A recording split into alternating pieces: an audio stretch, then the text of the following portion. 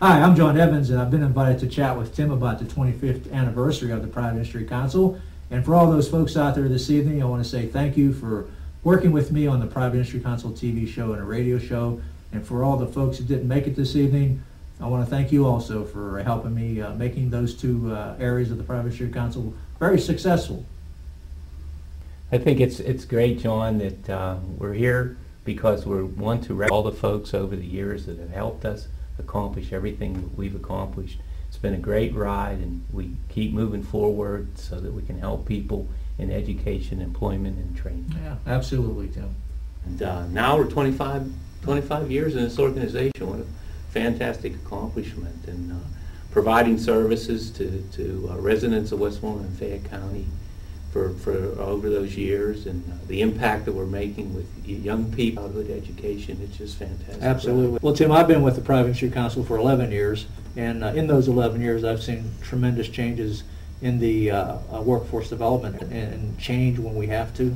Well, I think as we evolve through the years, I always kind of refer to our organization as gap fillers, you know, which was the beauty of the nonprofit organization that we had in Westmoreland and Fayette County. Because you'd have a lot of different government programs, whether it be state or feds, and they would come down with different mandates to try to help dislocated workers or individuals that are coming off the welfare rolls, and they would have contingencies and restrictions to the types of things you wanted to get done.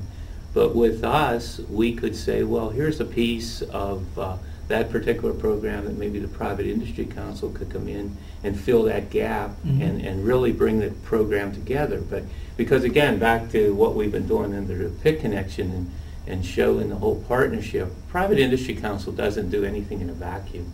We're doing things and we're accomplishing things and we're being very successful because of the partnerships, collaborations, cooperations that we have with other community organizations to get um, things accomplished and to help people move forward and, and see a brighter future for themselves. I absolutely agree with you, Tim. We have been able to uh, establish a lot of great relationships with many, many different organizations.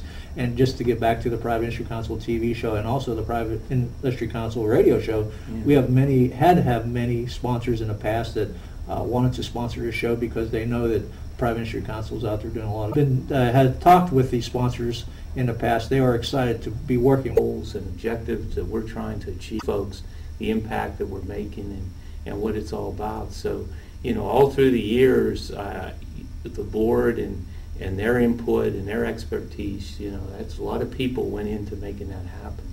Absolutely. And, uh, you know, with the current board now, a fantastic uh, board that's sitting right now with us, provides a lot of great direction for this organization. And, you know, and I know they're as proud as I am to, uh, to what we have accomplished.